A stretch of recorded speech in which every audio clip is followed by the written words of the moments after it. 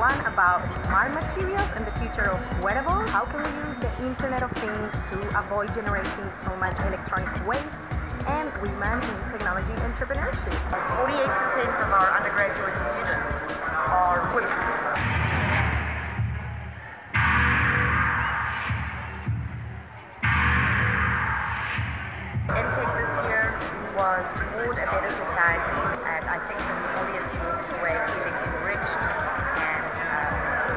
I'm the head of Station F, which is the future largest tech campus in the world.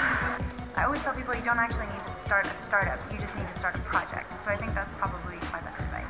About seven years ago, I moved out to France and I just started blogging and somehow my blog got picked up by TechCrunch. So I wrote for TechCrunch for a while, and during that time, I launched a ton of different projects. I launched uh, Girls in Tech, uh, which is now Start Her. I launched a FailCon conference.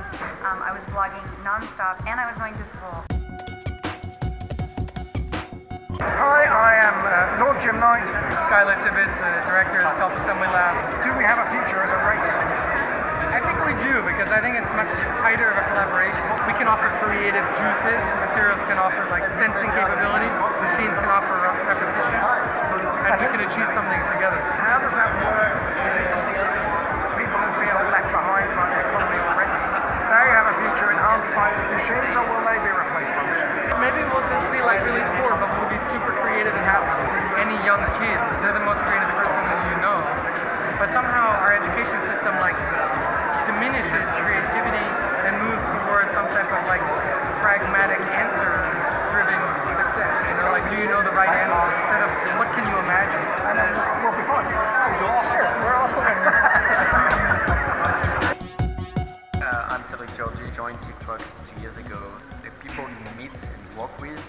very diverse. So we're not the usual startup.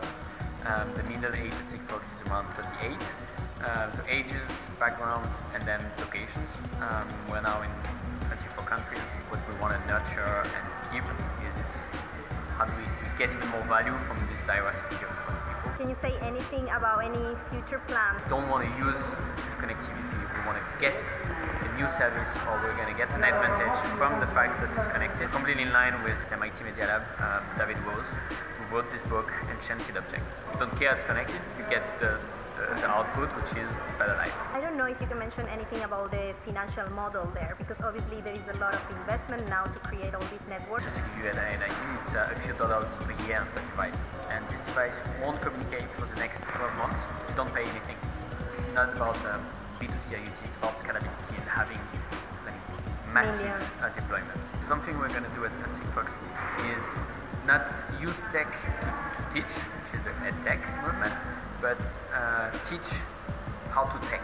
We're having next week an afternoon where all the kids of the Sigfox employees will be joining to understand what these new worlds are going to be in.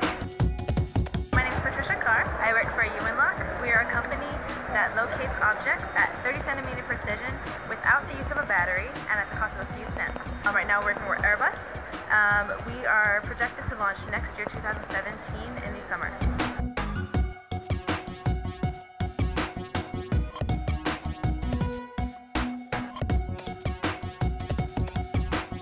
It's a transaction network. We use these every single day of our lives, whether it's PayPal or MasterCard or other systems.